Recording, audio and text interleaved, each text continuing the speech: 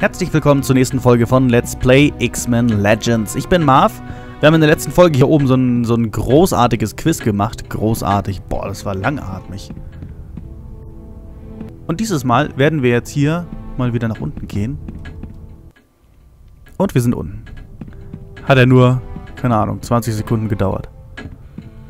So. War ich hier unten auch schon überall? Ich glaube schon. Rasen benutzen? Dieser Bereich ist im Moment gesperrt. Oh, der Rasen ist gesperrt. Kein Spiel auf dem Grün. Ich würde gerne eine Mission machen, Leute. Hier. Rogue. Hey, y'all. Aren't you the new girl? Wow, cool costume. You've got to be an X-Man. That's right, hun. My name's Rogue. And you're a mutant. Yup.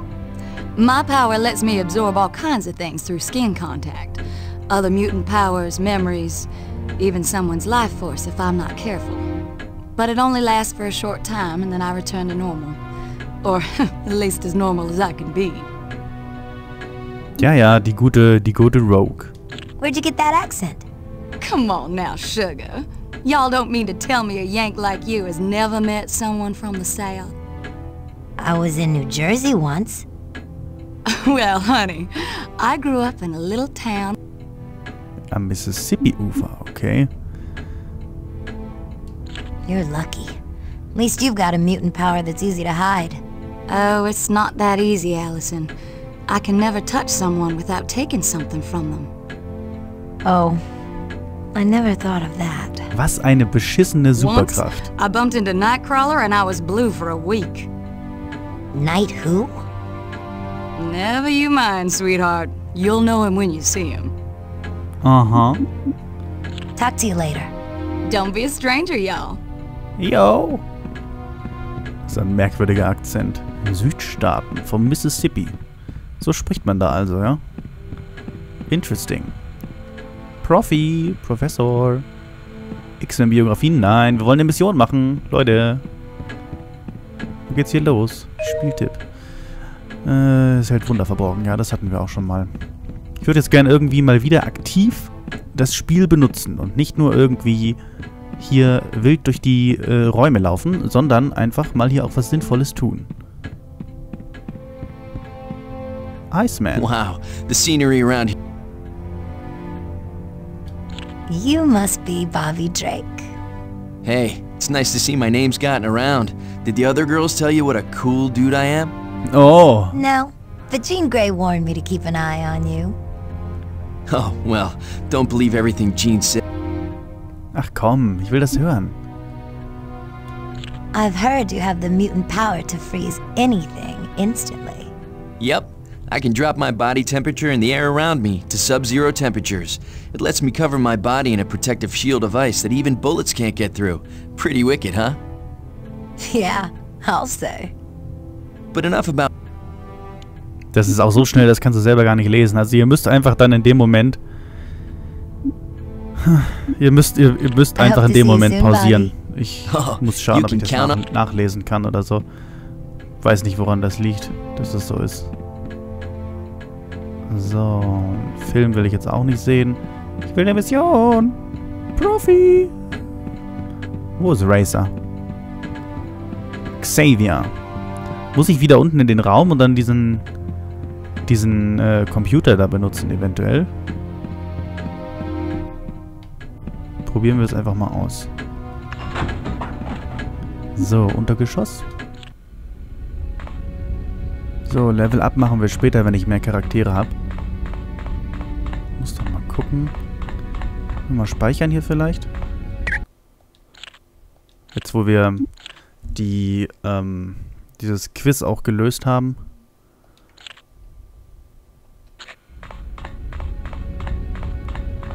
Irgendwo war doch hier, warte mal, ich kann doch irgendwie... Das war die falsche Taste. Wie war denn das? Mit welcher Taste? Da. Nee, das ist der Gefahrenraum.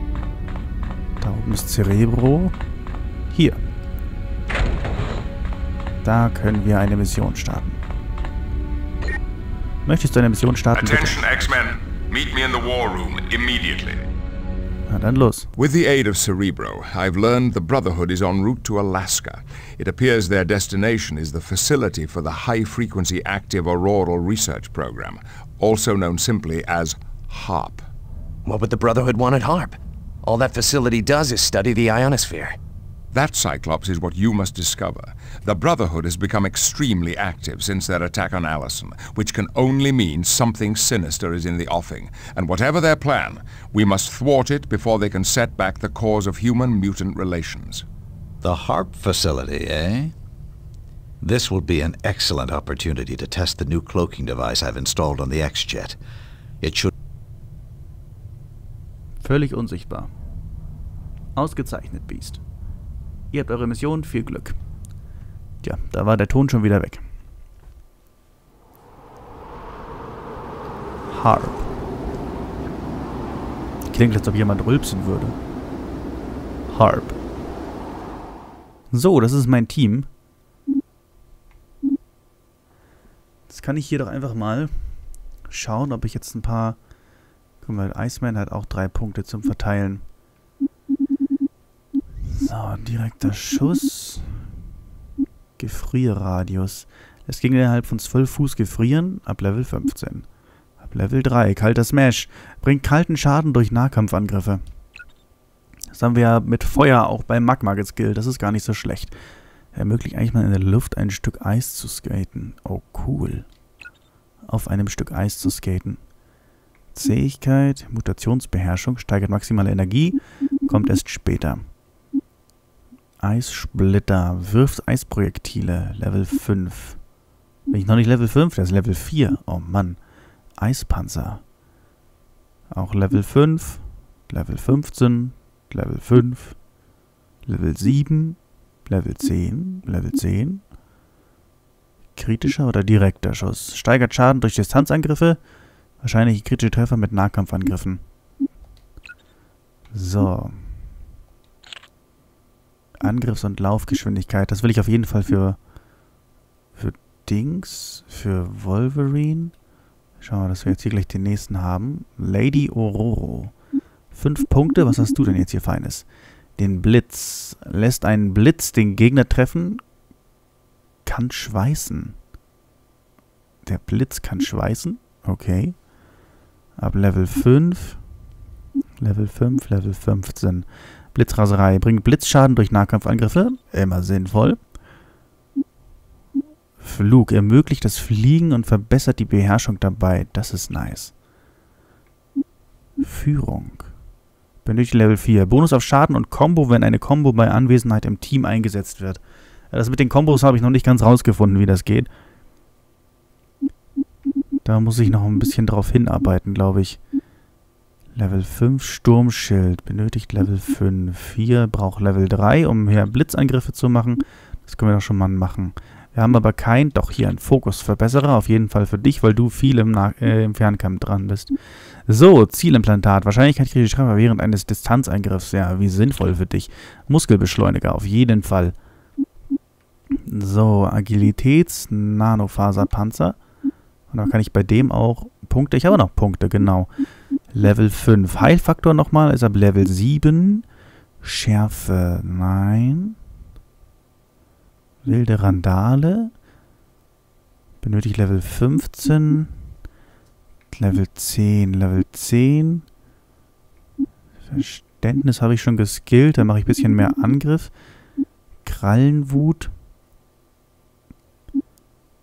Heilfaktor. Brutaler Slash. So, dann haben wir jetzt hier Krallenwirbel. Den will ich auf jeden Fall. Und wilde Wut. Bewegungsgeschwindigkeit plus 30, Agilität plus 5, kostet 60 Energie. Hm, macht mich jetzt nicht so wahnsinnig an. Heilfaktor braucht noch ein bisschen, der braucht auch noch ein bisschen.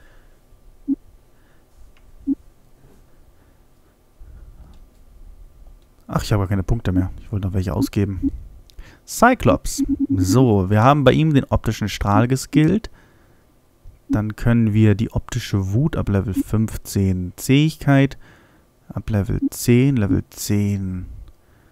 Das haben wir auch schon. 6% wahrscheinliche kritische Trefferchance.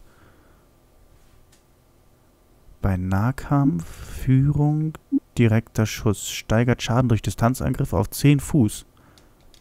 Ja, nett. Das braucht auch wieder Level 10. Vielleicht kann ich einfach mal ein weiteres Ding hier nehmen. Ein breit gestreuter Strahl. Kampfeffektivität. Ah ja. So. Basiszielimplantat. Iceman. Während eines Distanzangriffs. Ne, der macht doch... Ja, doch, komm. Ist egal. So, und du bekommst Shadowcats. Brauche ich wahrscheinlich Shadowcat selber, damit das geht. Aber wer ist Shadowcat? Ne, ich brauche Level 15. Okay, hat sich alles erledigt. Haben wir denn jetzt alles, bitte, liebe Leute? Hier, der kann noch einmal Fokus bekommen. Alle sind ausgerüstet, passt, los geht's. Hat ja nur zwölf Minuten gedauert, bis das Spiel losgeht.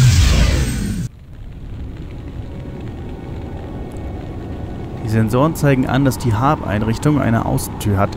Es gibt also nur einen Weg hinein, aber zuerst müssen wir an den Wachen der Einrichtung vorbei. Wenn wir drin sind, müssen wir die Bruderschaft finden und aufhalten und dann herausfinden, was die hier machen.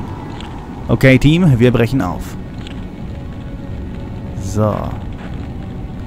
Schön, schön. Kann ich speichern? Ja. Also wenn man so viel, so viel rumgestellt hat, sollte man immer rechtzeitig speichern, finde ich. Einfach damit man da keine weiteren Probleme bekommt. Ich kann sogar Forge aufsuchen. Ja, ich habe ja gesagt, ich mache jetzt diese Runde, mache ich irgendwelche Quests, aber es ist halt ein Rollenspiel, liebe Leute. Und in einem Rollenspiel kann sowas halt einfach wahnsinnig lange dauern. So. Oh, der wird 1485 äh, Dinger bringen. Der ist aber auch echt gut, ne? Gegen Roboter extra Schaden. Nee, nee. Tja, Forge, wir gehen schon wieder. Du kannst uns jetzt hier nicht helfen. Wen will ich denn spielen? Iceman. Okay. Wie skate ich mit dem? Ich will mit dem skaten. Uh.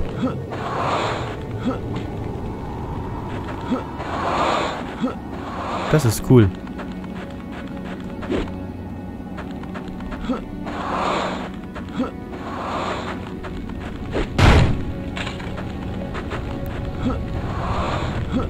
Ist er dadurch jetzt schneller als die anderen? Ich glaube nicht.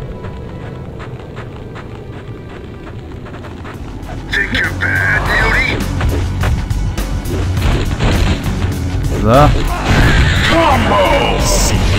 Oh, das ruckelt ja schon wieder. Wie blöd. Warum ruckelt das so stark? Lief doch die ganze Zeit rund. Immer wenn irgendwelche Kampfszenen sind oder so, dann, dann, dann bricht die Framerate absolut ein. Das Spiel wird langsamer und dann fängt es sich wieder und dann geht es wieder nicht und dann geht es wieder doch. Hi Wolverine. Was haben wir hier für einen Tipp? Charaktere können mit ihrer Kräfte auf einzigartige Weise ihre Umgebung beeinflussen. Probiere dies mit verschiedenen Kräften aus, wenn du die blaue Markierung siehst. Okay. Kommt da mal weg. Wird mal Iceman hier so ein bisschen.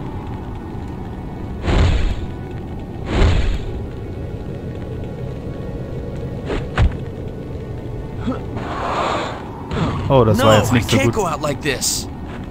Ist er tot? Really?